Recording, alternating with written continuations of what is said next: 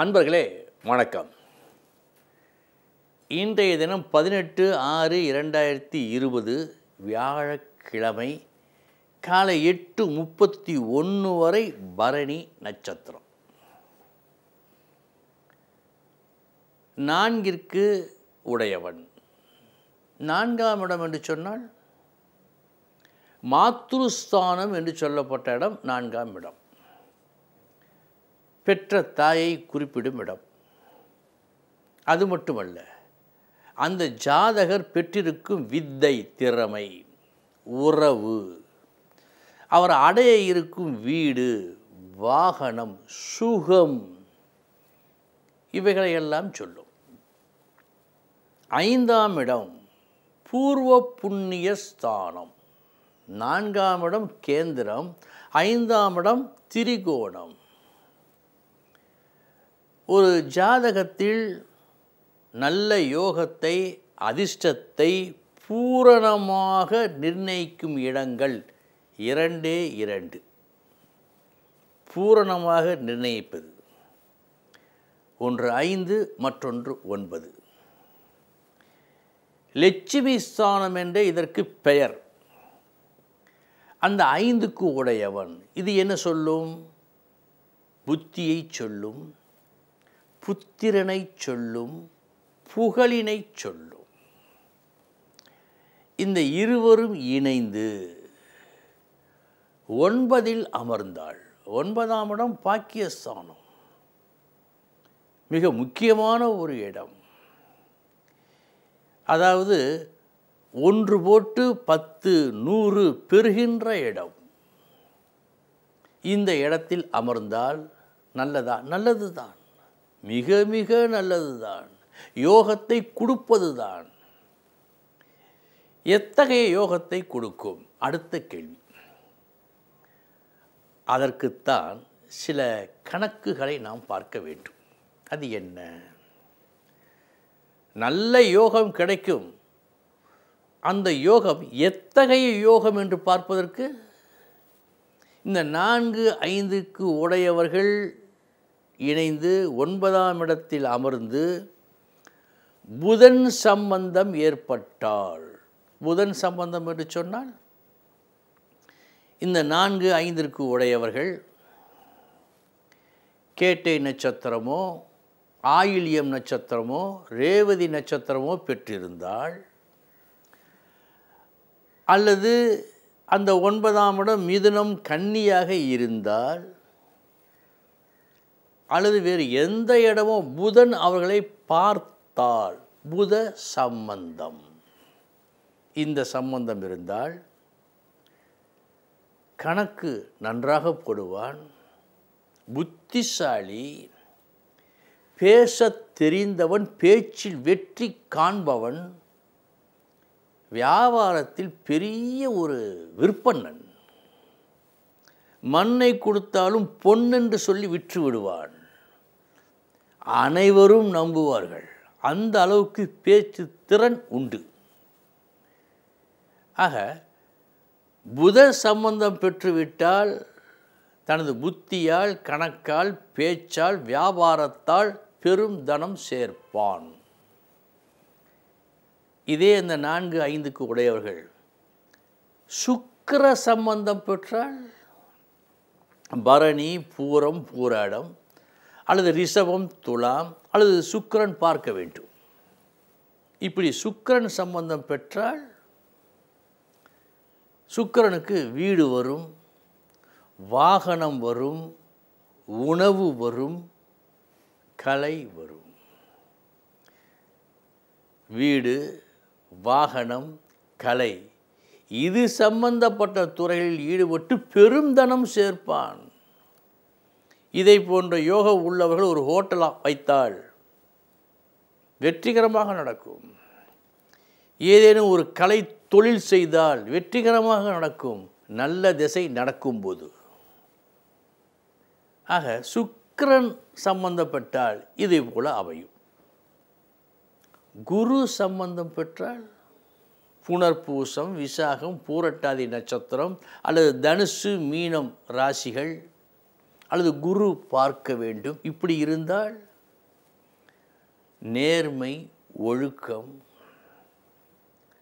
உண்மையான மதவாதிகள் மத போதகர்கள் மடாதிபதிகள் நீதிபதிகள் மன்னனுக்கு நிகராக வாழ தகுந்தவர்கள் வாழுகின்றவர்கள் மக்களால் மதிக்கப்பெற்றவர்கள் இவர்களாக பிரகாசிப்பார்கள். ஆக நல் யோகம் என்று சொன்னாலும் அந்த யோகம் எத்தகைய தன்மையை உடையதாக இருக்கும் என்று பார்க்க இப்படி பார்க்க வேண்டும். அன்பர்களே எனக்கு தெரிந்த அல்லது தேவைப்பட்ட சில நுணுக்கங்களை நாம் பார்த்து கொண்டு வருகிறோம். நன்றாக மனதிலே பதிய வைத்து கொள்ளுங்கள். ஆயிரம் உண்டு. அறிந்தது ஏதோ சொற்பம். அந்த சொற்பத்தையும் உங்களுக்கு நான் தெரிவிக்கின்றேன். இனி பனிரெண்டு ராசிகளுக்கு உண்டான பலன்களை பார்ப்போம்.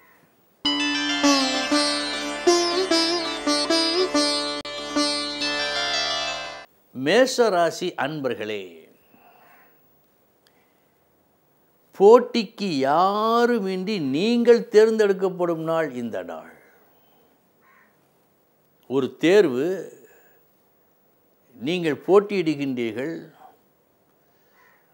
உங்களை எதிர்த்து யாரும் போட்டியிட வரவில்லை. போட்டிக்கு யாருமே இல்லை.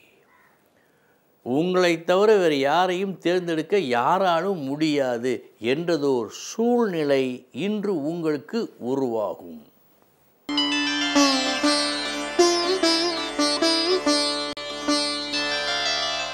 ரிஷபராசி அன்பர்களே இன்றைய தினம் சில நாட்களுக்கு முன்பு உங்களிடமிருந்து மறைந்த உங்கள் பொருள் உங்களுக்கு சேர வேண்டிய ஒன்று மீண்டும் வருவதற்குண்டான வாய்ப்பு உண்டு. இன்னொன்று அறிய வேண்டிய நுணுக்கத்தை நீங்கள் அறிந்து கொள்ளும் முயற்சி வெற்றி தருவதாகவும் அமைகிறது. இந்த இரண்டில் ஒன்றோ அல்லது இரண்டுமேவோ இன்று உங்களுக்கு நடக்கும்.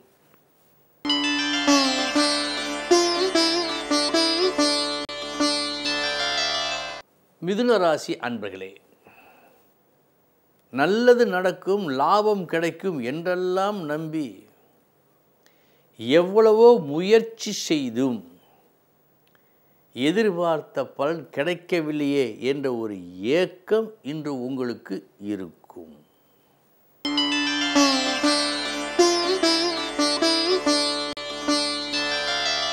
கடகராசி அன்பர்களே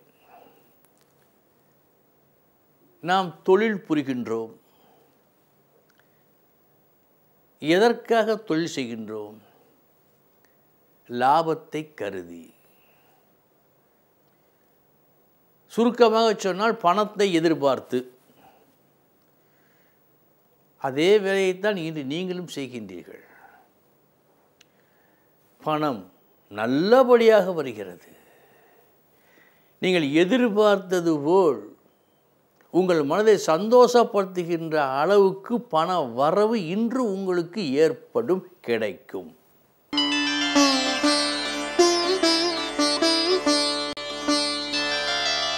சிம்மராசி அன்பர்களே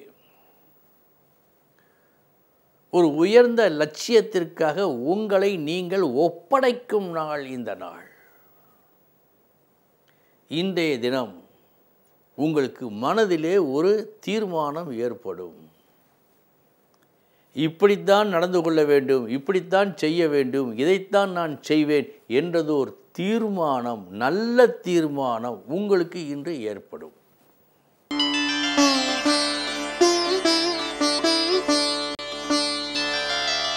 கன்னிராசி அன்பர்களே திடீரென ஏற்பட்ட ஒரு சோதனையால் சில செலவுகள் அதிகமாகி உங்களது பயணம் சற்றே தடைபடும் நாள் இந்த நாள்.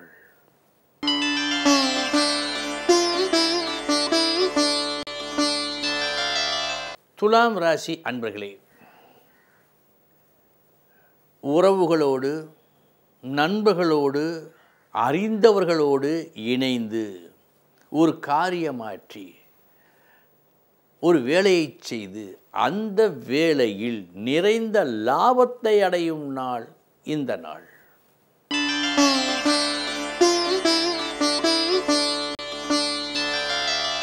விருச்சகராசி அன்பர்களே எத்தனை தடைகள் வந்தாலும் அதை நீங்கள் தாண்டி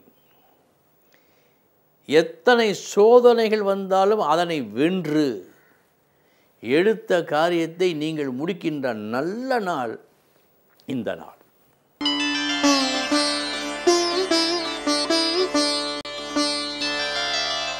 தனுசு ராசி அன்பர்களே இன்று உங்கள் வசம் ஒப்படைக்கும் வேலை வெற்றி பெற்றால் பெரிய புகழ் வானலாவ புகழ். தோல்வி அடைந்தால் அகல பாதாளம். நடுத்தரம் என்பதே இல்லை ஒன்று உயர்வு அல்லது தாழ்வு. இந்த இரண்டில் ஒன்றைத்தான் நீங்கள் சந்திக்க வேண்டும். அத்தகைய வேலை உங்கள் வசம் ஒப்படைக்கப்படும். நல்ல வேலையாக அதில் நீங்கள் வெற்றி பெற்று வானலாவய புகழை பெறுவீர்கள்.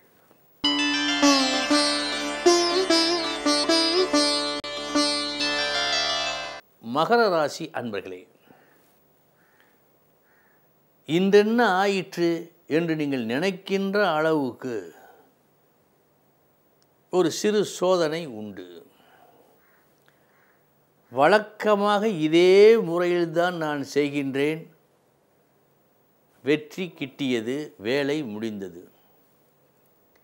இன்றும் அதே போல்தான் செய்தேன். வேலை முடியவில்லை வெற்றி கிடைக்கவில்லையே. என்று நீங்கள் எண்ணுகின்ற அளவுக்கு இந்த நாள் உங்களுக்கு அமைந்திருக்கிறது.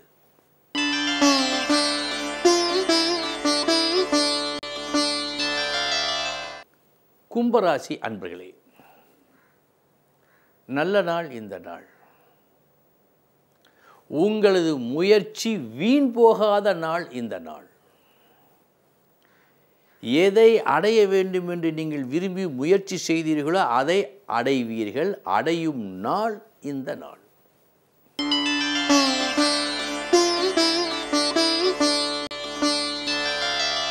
மீனராசி அன்பர்களே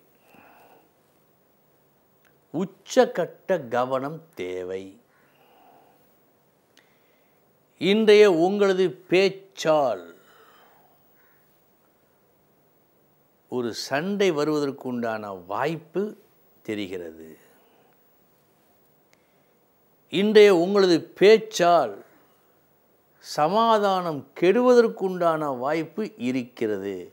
எனவே பேச்சில் மிக மிக கவனம் தேவை இன்று.